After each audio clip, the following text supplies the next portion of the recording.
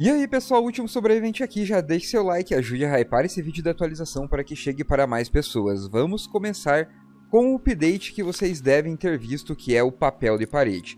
O papel de parede transforma sua base em uma cabana enferrujada num esconderijo aconchegante com esse papel de parede elegante. Um toque de estilo, pelo menos até a próxima invasão. Como tudo no Rust não é de graça, o Wallpaper Pack custa R$ 72,49 ele é nada mais, nada menos que papéis de parede para dentro da base. Para você poder decorar a sua base, deixar com aquele aquela papel de parede que é igual a toalhinha da vovó quando você visita sua avó, sua bisavó, está tudo aqui. Ó. Então, se te agrada, se você quer decorar sua base, ele custa R$ 72,00 na loja. Ao você abrir o inventário, digitar papel de parede, ele vai aparecer aqui. Você tem quatro desbloqueados por padrão sem comprar. Se você quiser comprar, vai desbloquear 20 e pouquinhos para você lá decorar sua base do jeito que você quiser. Com esses livres que vem, só para vocês terem uma ideia aqui de como fica a base por dentro, no chão não dá para pôr, somente em parede ele sobressai. Então, resumindo, se você quiser decorar a sua base, está aqui. Você clicando com o botão direito aqui na lata de spray, você consegue ver os temas dos papéis de parede. Então, se é isso que você quer, se você quer decorar sua base, compre o tema. Uma outra coisa que lançou é o Gas Compression Overdrive. Ele ainda não está traduzido. Se você vir aqui em fabricação, digitar Gas, vai aparecer aqui, ó. Ele é bancada 2 e o custo é de 10 metal de alta para craftá-lo, tá? O que que ele acontece com a arma? Vamos selecionar aqui a Thompson. Vamos carregar a Thompson. E vamos dar um tiro, um spray aqui. Beleza. Vamos colocar agora ele. Você vê a diferença, tá? Entre um spray e outro. Uh, você ganha mais... Menos recuo, porém mais lentidão, entendeu? Uh, sem ele, o tiro fica rápido. Com ele, o tiro fica devagar. Esta aqui são as armas que dão certo. Thompson, SMG, SAR, pistola, M92, M39. São as armas que ele dá certo, tá?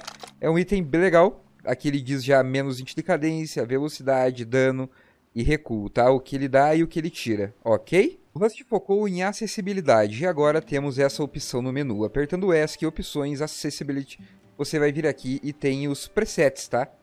Se você quiser selecionar como custom, etc e tal. Você pode escolher a marcação da árvore, colocar para azul, bar color, é, tudo, tá? Barra de saúde, de comida, de vida, aquele dano que aparece na tela, você consegue mudar todas as cores, tá? Não tem mais desculpas agora se você é, é daltônico. Se o cogumelo você é vermelho e você viu outra cor, você pode selecionar a cor que você gosta de ver agora, tá? Não tem segredo nenhum. Clicou, selecionou a cor, tá feito. Lembra quando você ia tentar construir, tava sem madeira, aparecia um monte de erro ali na esquerda, né? É, que não tem madeira, tudo assim, spamava o chat. Agora não.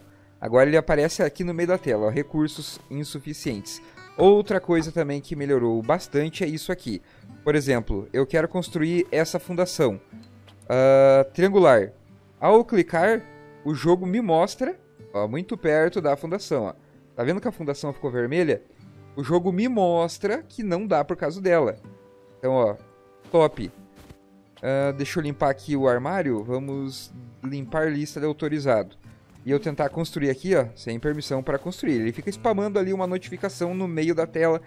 Agora todo mundo vai conseguir ver sem ter problema nenhum. Você que estava tentando construir as tuas bases bugadas, multi-TC, ia tentar pôr uma fundação e, não, e queria saber o porquê, agora está aqui, ó. Quando você for tentar construir, ele vai te dizer o motivo do erro. Isso aqui foi uma das melhores coisas que o Rust inventou até hoje. A coisa que mudou também é aqueles momentos que você precisaria ao, a, dar upgrade. Você precisa dar upgrade em alguma parte da tua base e não conseguia. Queria entender o porquê.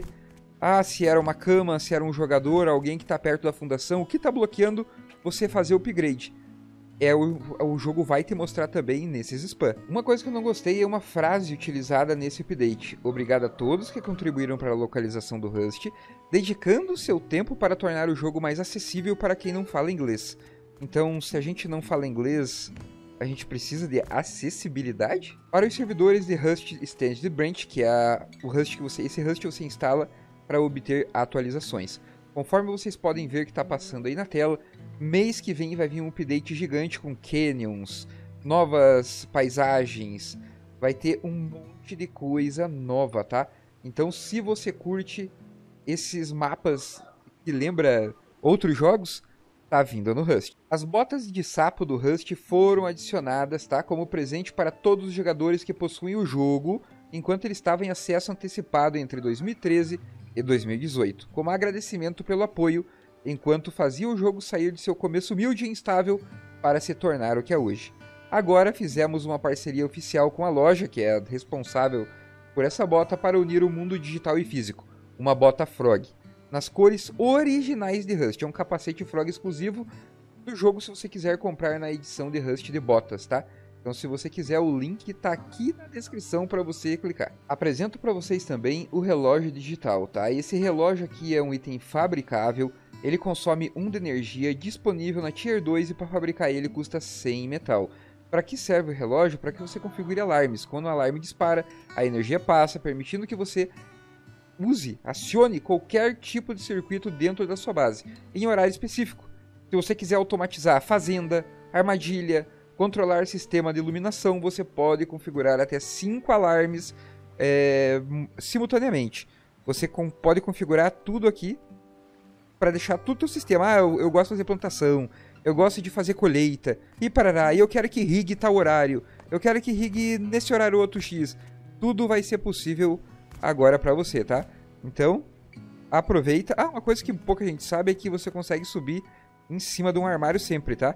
Você não precisa de pezinho e nem nada, tá? Você consegue subir em cima do TC, tá? Tem gente que não manja, mas você consegue. Pode usar para fazer parkour em algumas bases. Para você que joga no meu servidor de Rust Vanilla, ele estará disponível hoje às 19 horas para dar chance a todos, principalmente para quem trabalha em horário normal, poder iniciar no wipe, tá? É, os servidores oficiais de Rust já foram resetados toda primeira quinta-feira do mês, às 15 horas, se na gringa não for horário de verão, 16 horas, se lá na gringa for horário de verão. Esses servidores oficiais e comunidades que já fizeram o update estão disponíveis para jogar. Meu servidor não está disponível, pois ele não será atualizado até às 19 horas de hoje, quinta-feira, dia 5 do 9.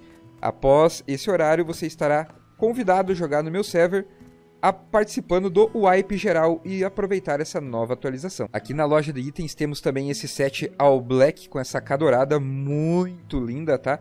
Essa K aqui é divina, muito bonita mesmo. Então é uma K que vale os 16 reais tranquilo. Essa porta achei muito ruim, essa fornalha linda e o resto do set tudo lindo. Única coisa que eu não compraria aqui é essa porta aqui de, da Whiter Treatment Door, que eu achei muito feia ela em game, né?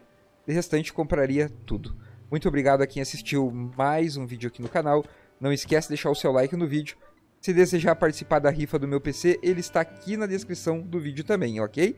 É um PC completo com 4080, tudo para você ter o melhor desempenho em todos os jogos. Deixe seu like e conto com você no próximo vídeo.